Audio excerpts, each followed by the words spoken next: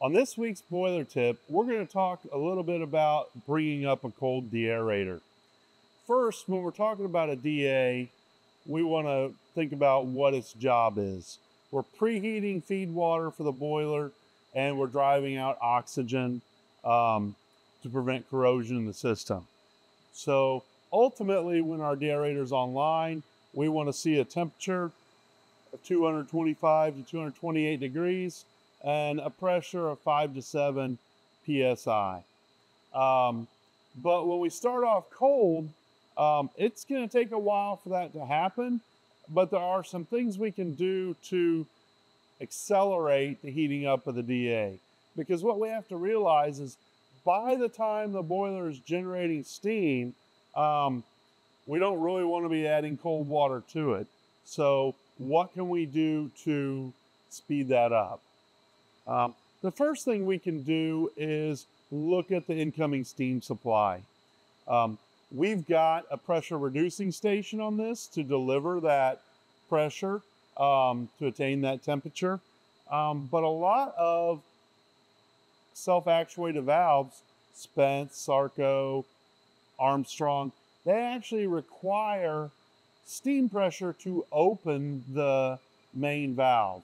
Um, so when we're first bringing a unit online, it's really worthwhile to open the bypass on that PRV so that we can get steam going into the deaerator as soon as steam is being created rather than waiting until we've got 20, 25, 30 psi to start delivering steam to it. So the function of this PRV is that steam comes in, goes through the pilot, and the pilot puts pressure on this diaphragm to open the valve. So if we don't have incoming pressure, it's not going to be open. We typically have a bypass on a PRV for troubleshooting and general maintenance. Um, but if we open that bypass as we're warming up, any steam created is going directly to the deaerator so that we can begin the warming up process. So one of the keys to getting the deaerator warm and deaerating in general is getting the air out. So where does the air go? How do we get that oxygen out of this tank? That's through a vent. This valve looks like a normal gate valve, but it's actually got an orifice drilled in the seat to allow a continuous stream of air and some steam out the vent. When we first start up the unit, that pre-drilled orifice is pretty small. So we're actually going to delay removal of air if we leave this valve at its normal position. So when we're starting up the aerator, in addition to opening the bypass for the PRV coming in, um, we may want to go ahead and manually open this gate valve so we can expedite the removal of that air. That's going to give us the full port to dump air out.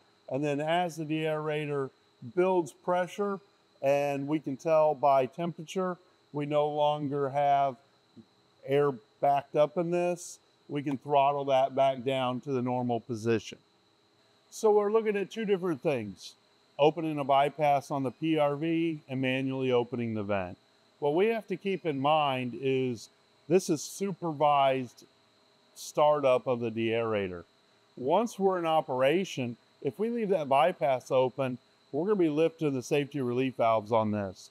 So we have to monitor, and once we attain the, a certain pressure on the DA, start throttling that bypass or close that bypass and let the PRV do its job. That's why it's there. But the same is true also for the vent. If we leave that vent open, we're going to be dumping quite a bit of steam continuously. So we have to remember, close that bypass, close that orifice valve back down to its normal position once we're back in normal operation.